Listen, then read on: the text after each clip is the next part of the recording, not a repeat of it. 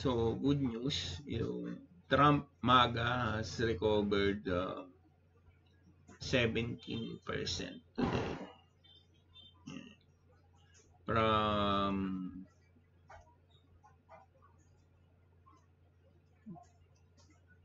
from uh, 17% just today from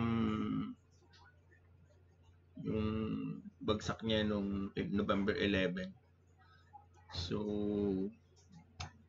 so bakit nga ba to bumagsak at saka ano yung ano natin dito? What, what's the forecast for this? So, the last time I checked, 41 million lang itong max supply nito. Okay. So, Ibig sabihin, nagdagdag siya ng volume. Volume has increase, uh, which is, makikita natin dito yun, no? nag-increase tong volume selling. And then, yeah, mataas pa din yung volume niya as it goes down. So, madaming nagtitrade. Pero, hindi ko alam kung 47, 41 million yan or 47. Not sure. Pero, the reason ba't siya bumagsak is maraming nagbebenta. There, there are a lot of people selling.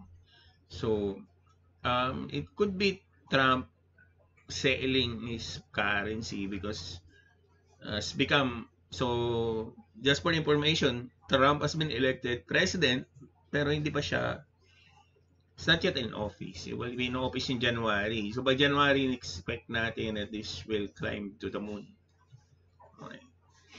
uh, kung titingnan natin yung one month market as compared to Bitcoin hindi siya naapektuhan ng Bitcoin, it's inversely proportional.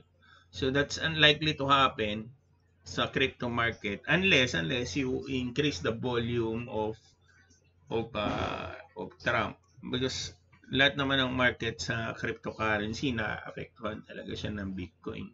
So maybe ito nung hindi na siya nag-increase ng volume, naapektuhan na siya ng prices ni uh, ni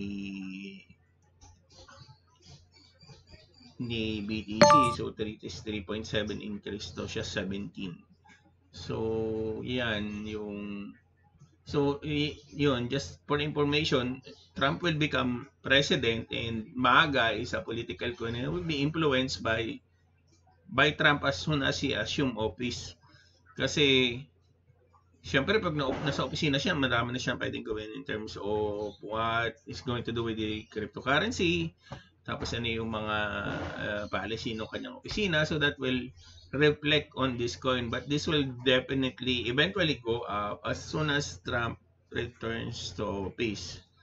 So, yan, dun sa climb na yan, kumita naman ako dyan ng maliit na 17%. Ayun. So, feeling ko tataas ba yan as January approaches when Trump uh, resume office by January. So, ayan lang mga ano, mga ka-crypto. Okay. Kung ano pa yung gusto niyo mga stock analysis na pwede natin gawin, mag-comment lang kayo sa baba. At saka i-message nyo lang ako, i-like nyo na rin ako. Kasi follow nyo na rin yung Facebook page ko Nasa Joey's Game Room to naka-live. Tapos, uh, anything goes sa YouTube. Yan. Ano pa ba? Uh,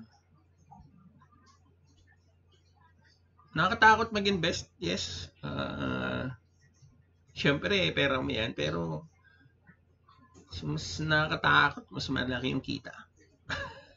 Parang yung mga project ko yan eh.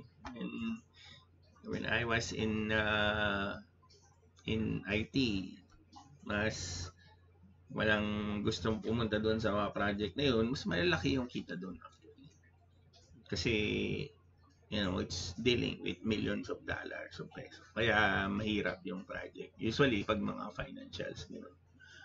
Uh, ano pa? So, yan. So, in-expect natin yan uh, it will be going to the moon as soon as Trump returns to office in January. So, ngayon pa lang, baka ito na yung start ng comeback niya to uh, 4 peso. O to 4 dollars. That's all. Thank you. Have a nice day today. Saturday is almost over and it's Sunday. It's been very, very busy day with uh, um, practice ng choir and things like that. So tomorrow Sunday, we'll see you. Nasa Rosario Church kami ng 6 p.m. ba? I don't know. Um, okay, that's all. Yan, huwag mong kalimutan magsimba bukas, Sunday, tomorrow, go to church. And uh, learn to trade and save. So, huwag mo na kayo kumain ng burger. Bili mo na kayo ng crypto. Kaya, bili mo na kayo ng stocks. That's all for now. Thank you for watching.